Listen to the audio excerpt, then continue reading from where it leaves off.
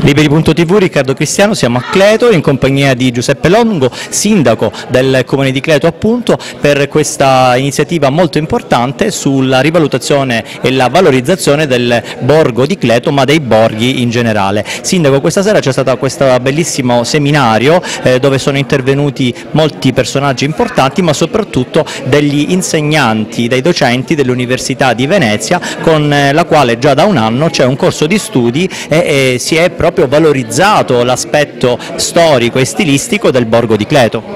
Sì, si è creata diciamo, questa, questa, collaborazione con, diciamo, con l'Università di Venezia, quindi con una, una parte importante dell'Italia così lontana dalle nostre realtà. È un percorso diciamo, che è iniziato un anno fa e ha dato ottimi risultati per quanto riguarda le prospettive, i possibili sviluppi del, del nostro borgo, la rivitalizzazione anche dal punto di vista economico. Io quindi ringrazio molto i docenti per il lavoro che hanno fatto, ringrazio pure i, ragazzi, gli studenti e le studentesse che sono venuti, venuti ripetutamente a Creto e quindi hanno fatto uno studio approfondito sui vari aspetti della nostra, della nostra comunità.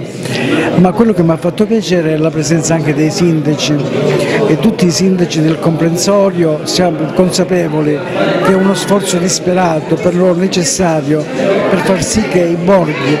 che hanno rappresentato la storia e la cultura dell'Italia da tanti, secoli finisca nella, nella solitudine, finisca nella desolazione più totale la comunità può restare se eh, eh, accanto diciamo, agli interventi di ripristino ci sono anche possibilità di, eh, di sopravvivenza, di vita e quindi di permanenza di tanti giovani nel nostro territorio. È stata una bella serata, ma quello che mi ha pure mm, impressionato positivamente è la presenza dell'assessore, l'assessore regionale, sì, la professoressa Corigliano, l'onorevole Corigliano, che è venuta diciamo, di slancio anche se l'abbiamo avvisata da poco tempo perché lei è molto sensibile anche per la cultura, per l'esperienza pregressa in quanto assessore, ex assessore alla provincia con l'attuale governatore, un tempo presidente della provincia di Cosenza, quindi diciamo, ha le competenze giuste, la conoscenza del territorio, la serietà per poter diciamo, starci vicino eh, nei limiti del possibile, pur tenendo conto delle difficoltà che purtroppo attanagliano diciamo, la realtà nostra, regionale, provinciale eccetera. Sindaco, un'ultima cosa, eh, diceva anche il professor Grandinetti che ci sono le eccellenze dei vari diciamo, borghi, dei vari territori, quello di Cleto diciamo, è molto rinomato tra cui per esempio l'olio, pensiamo anche al vino del Savuto, eh, è un modo eh, per valorizzare soprattutto queste piccole attività magari locali e farle conoscere non solo a livello eh, diciamo, locale appunto, ma anche addirittura italiano per non eh, arrivare all'estero perché ci si conosce anche all'estero ormai Cleto. E Cleto è stato famoso nel passato per i suoi prodotti, il nostro territorio era considerato come il granaio di Diamantea e, oh, ma oltre diciamo, a questo diciamo, il vino è pregiatissimo, lo conoscevano gli antichi romani, ne parla pure Tacito nelle sue opere saltuariamente. E l'olio è di una qualità eccezionale, lo dicono gli esperti, non certo io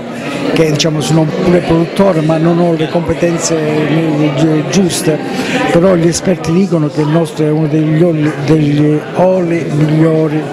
eh, che esistano diciamo, in Italia eh, non soltanto in Calabria, però manca l'organizzazione, manca diciamo, un marchio che contraddistingua i nostri prodotti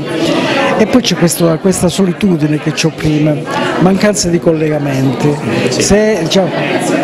se, ehm, si, può, si, può, si, potrà, credo potrà essere collegato meglio alle vicine realtà come Cosenza, come, mh, specialmente all'interno, naturalmente è un altro passo avanti verso la stabilizzazione